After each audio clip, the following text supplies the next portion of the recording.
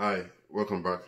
Today I want to talk about forgiveness and the real meaning of forgiveness, or at least what I understand from forgiveness and what it means to me. Um, yeah, so if you've been through like a troubled past, you know, and you're trying to move forward or you're already moving forward, um, one of the things that we need to do is to forgive ourselves for um, for whatever mistakes or transgressions that we have committed in the past. Um, we need to forgive the other parties that were involved too, um, which means you know absolving everybody of blame and just understanding that we were in that situation based on our level of consciousness, based on the other people's level of consciousness too.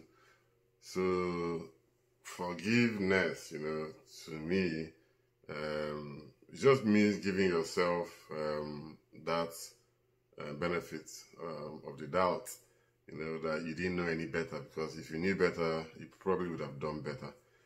Um, so, in the true spirit of forgiveness, um, the goal really, as far as I'm concerned, is to is to change, you know, our attitude or to change our behavior. Um, there's a popular saying, you know, that um, true forgiveness, um, true apology, you know, is changed behavior, and apology is is um, is linked to forgiveness. Um, they are siblings, you know, of the same mother. Uh, so they are siblings of the same mother of surrender. Um, so yeah, so if you forgiveness is for yourself, basically to to enable you move forward. You're not doing it for another person. Uh, you cannot do it for another person. The other person doesn't even need it from you. Um, it's some it's an internal process again. You know, you need to forgive people um, multiple times. Um, but in reality, you know, we all know it's really difficult to truly forget something. Uh, now, there's a difference between forgiving and forgetting about something. Forgetting about something is stupidity, as far as I'm concerned, uh, because people don't really change. Uh, it's difficult to change. I'm sure you've already seen it in your own life. Um, it's almost impossible. Uh, it's really difficult to change who you are you are already who you are. Um, yes, you can do it, but it's going to take a lot of serious effort, you know, if you know what I mean.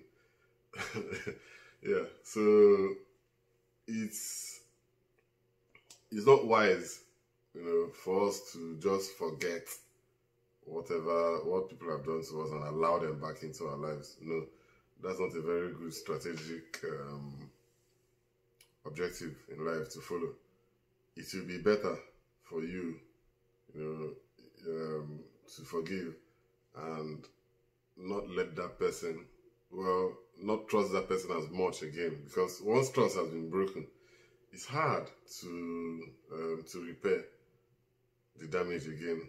It is almost impossible to repair the damage unless something unless something really intense happens to you and that person and that person that you didn't trust before comes and proves their worthiness again. Um, but those situations hardly occur, you know. So your first impression is always the impression that people are going to take away, and that's the truth. Some people don't trust me because of one mistake, you know, that I made, maybe our first interaction or something, and just like that, it's gone, vamos, evaporated. So, so yeah. Um, the real reason why we forgive, you know, is because most people don't really know what they are doing, including us. Nobody knows. We don't know what we are doing.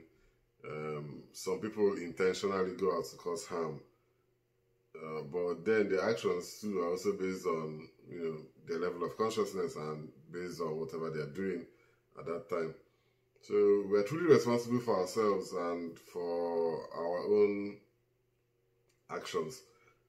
Um, yeah, so I've had to take the time, you know, to forgive myself for for all the wrong decisions I think I made in the past. And I wouldn't be here if I hadn't done if I hadn't made those decisions. I would have been somewhere else. I would have um, I will not be following my calling by now. I'll probably have been aligning myself with the program of the world, which, of course, I don't know where it would have led to. So, there are three levels of forgiveness now. Um, forgiving yourself, number one. Forgiving other people, you know, because they really don't know what they're doing. And asking for forgiveness from people that you may have intentionally caused harm in the past. Um, just asking for you don't really need them to forgive you. Um, that's not the issue. Um, merely asking for it uh, makes it done already. That's the closure you need.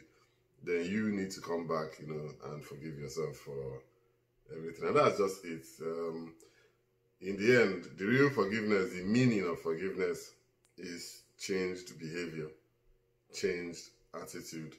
That's the only way to show yourself, you know, that you're moving on another path.